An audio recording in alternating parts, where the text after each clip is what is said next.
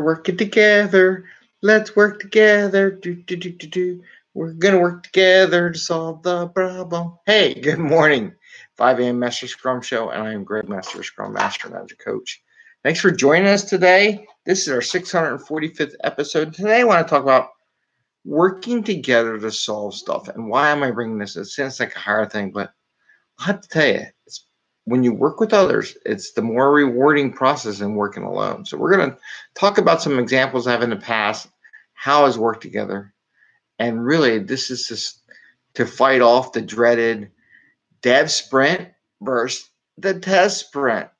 And that's where we're going to talk about why that's bad and why working together is much more productive ever than a dev sprint and a test sprint. So, with that, 5 a.m. Mester Scrum Show. I am Greg Mester, Scrum Master and Agile Coach. And here on the 5 a.m. Mester Scrum Show, we talk about Agile and Scrum in a practical and tactical way. So you can bring value to your customer, not work crazy hours, get home to family and friends, do some fun stuff in life, have fun at work, and not like dread the jobs, right? So, and be more productive that way. Because if you dread the job, you're not going to want to do it, and it's going to take longer people don't get it. You make the, the place miserable, and it's gonna take longer to get stuff done. Um, okay, so the dreaded. Well, why don't we do? Why don't we fully utilize, 100% utilize our de- developers in development, and fully utilize our testers in test? Yeah, you get that right. That happens every place I ever been to in my whole entire career. A lot of times from project management type things or management by capability. Did those places ever deliver their work on time? Probably not, without working crazy hours to get there, right? I mean, people can tell me, yeah, we delivered on time. I said, well, what did you do to get there? We did what we needed to do to get the, the project delivered on time. Yeah, got that. Um, do that too often, everybody's going to jump ship. So, I want to tell you this right now. The one group, one of the few times, actually, every time I do this right, and I have dev and test working side by side next to each other in the same sprint, next to each other, literally next to each other if possible. I know in the virtual world we won't have that.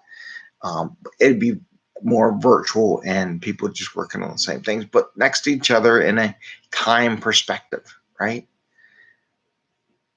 I've had quality people tell me, Greg, I loved what we did. Tell me how many times do you get feedback from people that says they love what they did? And what they did is we set up a system where the testers were embedded with the developers. And when the developers did something, the testers tested it right away and gave back feedback back to the developers.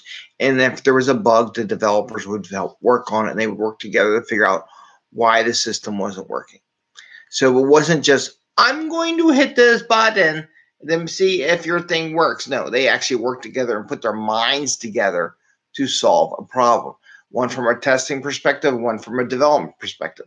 Two different thought processes, two different perspectives. People don't understand their different perspectives, but sometimes different perspectives is called diversity that they're trying to teach everyone adds to the benefit of the solution. So, in that example, so one time, you know, I got it a few times actually, but sometimes it's like we were so more advanced than others. When I had one, one, one, one comment from one QA was, "You're we what you had set up, we were so more advanced than any other agile team I've ever been to, and you really don't realize it when you're in it." But then when you go out of it and go work for another company, and like, oh my God, what we did before was so much better. So that was a great compliment. I was like, thank you. And then another time was the guy says, I love this. This was great. It was the best thing. I wish we could do this forever. Um, every time you work people together as a team, they are much happier in developing. One, they build better solutions. Two, they're much happier. Okay. They love solving problems of the team. Do you, when you're by yourself and you win a solitaire game, is that more enjoyable than when you're with a group of people playing a sport game and you win, or you play together, you play your hearts out and you play really well. You bond, right? You do well. That's the thing. These teams want to do a dev and a and, and a test from a now from a technical standpoint. Let's talk about So, from an emotional performance perspective, having dev and test together is just 10 times better. You can't argue me that it's any better. I'm to say you're wrong um, because I've seen it and I've seen the feedback because people don't tell you they love their job. They don't love their job. It just doesn't. I mean, you count how many times people said they love their job. The only time they do is when they work together as a team to solve a problem. I guarantee you, I bet you. Okay. Unless they're totally an introvert and they don't want to talk to anyone ever. But that's okay. Everybody's diverse. They bring their differences to the table. Now, why testing and dev should be together? Okay. If you are really good at what you do, unless you suck, right, at coding, in theory, if you have like five, let's say you have let's say, because the numbers are always wrong, you have five developers, three testers. So you have eight people, a team of eight. Okay. Ideally, it'd be four and four, but let's say it's five and three. When you have those five people coding and they take all their stuff and drop it on the testers, and then the testers look at it, they find a bug. But maybe it was the next sprint you're already adding code on top of it. So what you're basically doing is my fingers. And this is why you don't do it. You got the blue fingers now. Um, and I always use the blue pen. I don't know why. So you basically build a mountain of code. So your first release, this is first release, you got a little bit of code, right? And then this goes over to testing, right? Problem is, come the second release, they can find a bug in your code buried deep in that pile of code. You are now working on the second release as a developer. You have to be able to go back and find out where that error was. Problem is, you already context switched into another activity.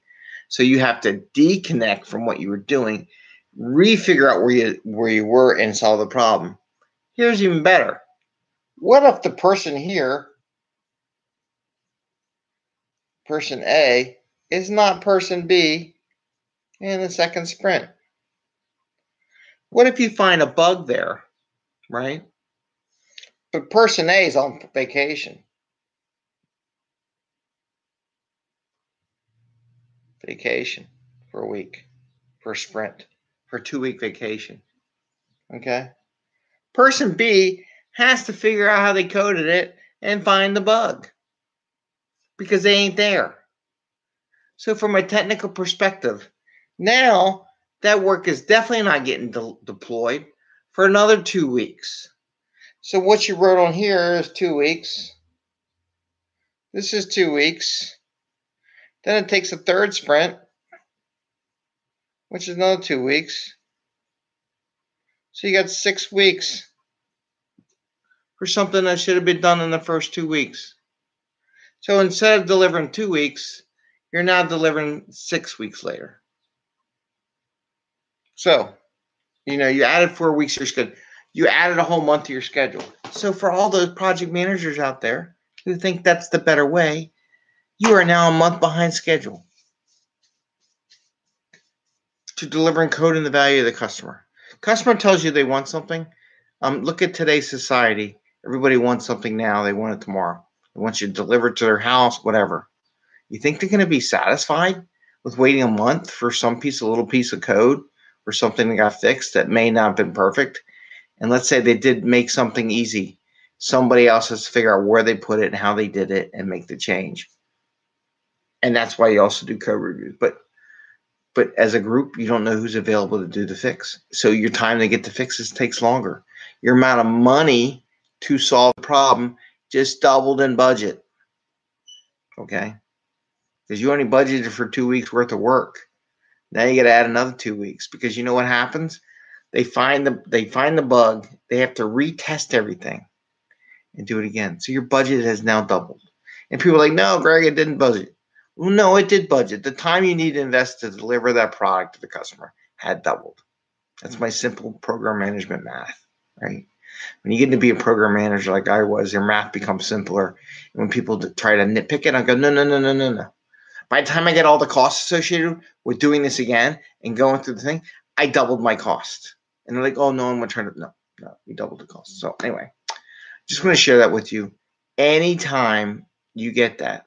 So, from a technical perspective, trying to find the bug, the probability getting lost, somebody not being there when and when you set up that dev sprint and test sprint, you have a lot of places things can go wrong. If you get them in the same sprint, dev and test together, working together as a team, one, they're going to be much happier. Two, more productive. Three, they'll find the stuff quicker and keep your costs down to a minimum. I don't know how you're going to argue with me that I'm not right. You argue with me. Anybody out there, argue with me I'm wrong. Argue with me that it's better to have a development sprint and then a test sprint, and then argue with me if anything ever goes wrong, how that's it's cheaper to have the two separate sprints than it is cheaper to have one sprint with both testing and dev in it. Just argue with that part. Anyway, all right. Well, have a great day. Enjoy your day. Give us a thumbs up if you like the show. Ring the bell twice, once, twice, so you get notified when we go live. And you all have a great day. Bye. See ya.